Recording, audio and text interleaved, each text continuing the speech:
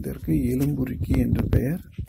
எலும்பு முறிவு ஏற்பட்டு ஒருவர் சிகிச்சை பெறும் சமயம் இந்த மூலிகையை பாலில் கலந்து சாப்பிட்டால் மிக விரைவாக எலும்பு கூட்டும். எலும்பு கூடிக்கொள்ளும். உடைந்த எலும்பு முறிந்த எலும்பு சரியாகும். இதை அதே போல எலும்பு முறிவு ஏற்பட்டவர்கள் உடல் நலிந்து மெலிந்து போவார்கள். அவர்களுக்கான சிகிச்சை முறை இதனுடைய சமூலம் இலை பட்டை வேர் எல்லாம் எடுத்துக்கொண்டு பதப்படுத்தப்பட்ட நாட்டு வெல்லம் நாட்டு கோழி முட்டை உளுந்து மாவு அதாவது உளுத்தம்பருப்பு மாவு